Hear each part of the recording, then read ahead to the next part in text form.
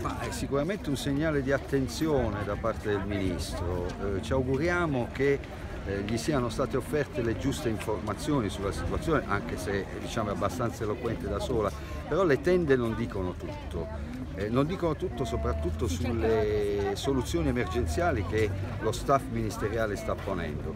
Io mi auguro che abbiamo, che, di avere la possibilità di spiegargli quanto gli abbiamo già detto in maniera molto veloce su che Modugno e via Brigata Regina sono assolutamente insufficienti e non solo sono insufficienti ma rischiano di affossare ancora di più il problema. Noi insistiamo, gliel'abbiamo già preannunciato, lui non si è sbottonato, ha detto che ne parleremo nella riunione delle 13, eh, noi insistiamo però nella decretazione di urgenza che nomini un commissario plenipotenziario che possa dare veramente soluzione alla questione.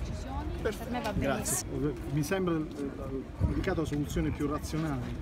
Guardi, eh, penalizzati sono i cittadini innanzitutto, non soltanto gli avvocati e i magistrati, perché questa è una vicenda drammatica che investe dolorosamente la città di Bari e le soluzioni sono tutte insufficienti se non si adotta la strada che noi stiamo indicando della decretazione di urgenza, perché soltanto con quella strada noi abbiamo la possibilità di andare in deroga e quindi di utilizzare gli immobili che sono a disposizione della città, ma che hanno qualche problema di destinazione urbanistica che potrebbe essere eh, superata dal commissario. Questo noi chiediamo fortemente. Voi magistrati state andando nella stessa Avvocati. direzione? voi e i Ah, magistrati i magistrati, state, assolutamente. state andando nella stessa direzione o...